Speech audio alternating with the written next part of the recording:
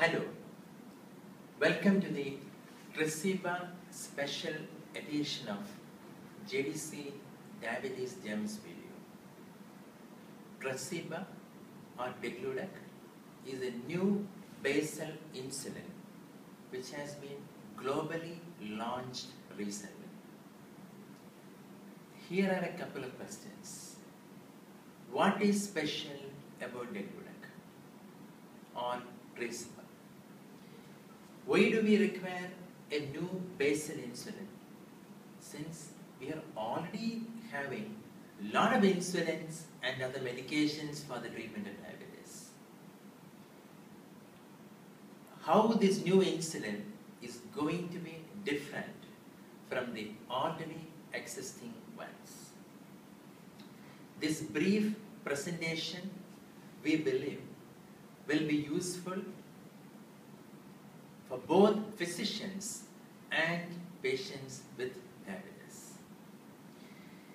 Degludec has got a structure totally different from the existing basal insulins. The existing basal insulins are the NPH, which has been launched way back in 1950s. Then we had Glargine or Lantus in 2000 and then came Detemir or Levemir in 2004. These insulins have got lot of limitations are there for these insulins. If you look at the structure of Degludec, as seen here, this is the A chain and this is the B chain, and at position 30, threonine is knocked out. And at position 29 of the beta chain of the human insulin molecule, we have a glutamic acid linker which is attached and onto it is attached a carbon 16 fatty diacid chain. This complex of this glutamic acid linker along with the fatty diacid side chain together contributes to the name Degludec. Why Degludec is different? You see here, Degludec is different because of its unique structure. It has got phenol and zinc in it and upon injection the phenol is lost, it diffuses and what happens? The dihexamers they link up to form long chains of soluble multihexamers and these hexamers get linked together with the help of the fatty acid side chain, the glutamic, glutamic acid linker, and with the help of the zinc core in the adjacent molecule. And here you see the long multi-hexamer chains of Degludec. And what happens next? This long chain that you see here, which has got a very high molecular weight, will help in very slow, gradual absorption or action of the molecule. So the absorption of a molecule is delayed when the molecular weight is big enough. And with rapid acting insulins like aspart, we have very small molecular weight, monomers, which gets rapidly absorbed into the circulation. If you look at this chain, you can see the zinc which is getting lost at the tip of the chains and along with that the degludec monomers are released. And these monomers which gets released at the end of this chain will get gradually absorbed and it is a continuous slow process. So this is how this insulin is different from the already existing insulins.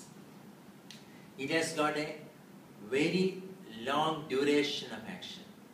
The half-life of Degludec is more than 25 hours, which is double that of the existing basal insulin glargine. So this insulin can be injected once daily.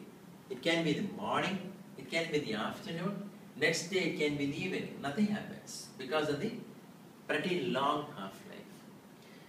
Degludec or Tresiba is one insulin which can be given in the presence of liver disease or renal disease without changing the dosages.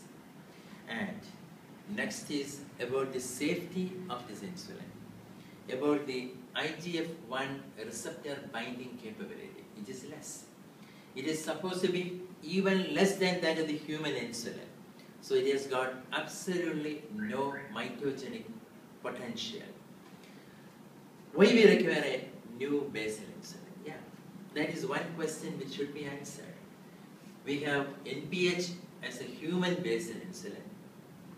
Of course, even though it is good, it has got a huge, significant intra-subject variability, resulting in significant glucose variability. The same is true with both glargine and even with detemir. Though the glucose variability is relatively less and the hypoglycemic tendency is also relatively less.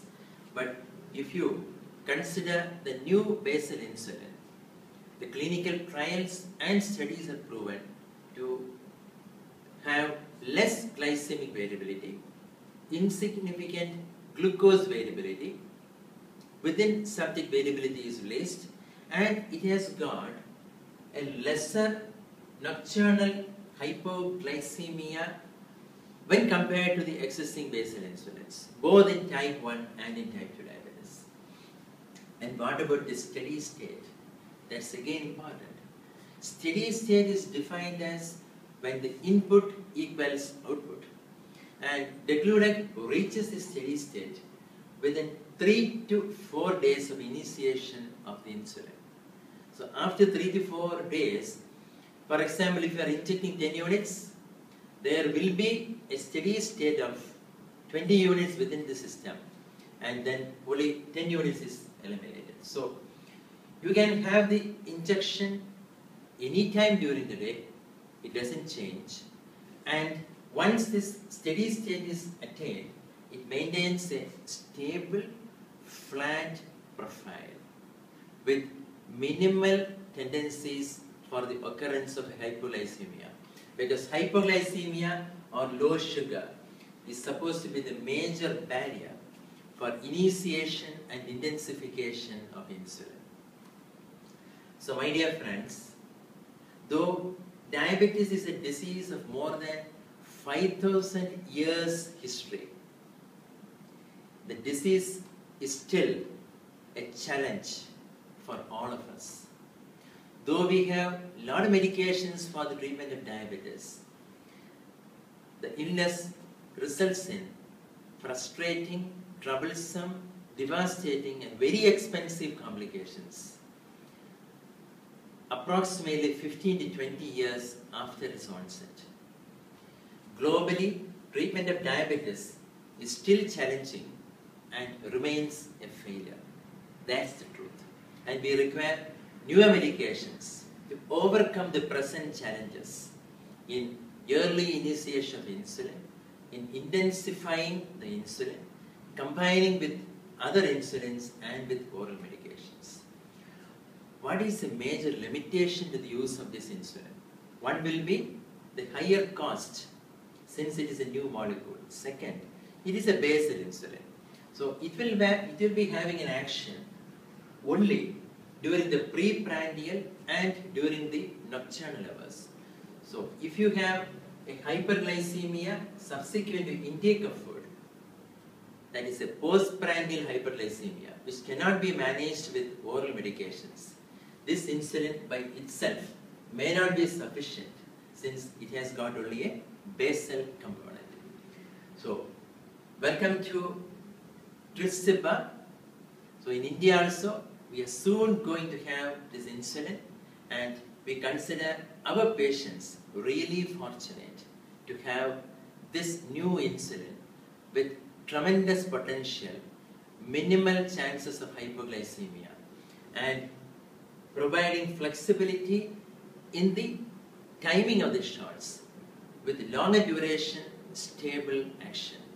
Supposed to be and proven to be soluble, safe, and stable. Thank you very much for viewing our video on Tresiba insulin. Thank you very much for your feedbacks from Jothydev's Diabetes Center, JDC GEMS video team from Kerala. Until next time, goodbye.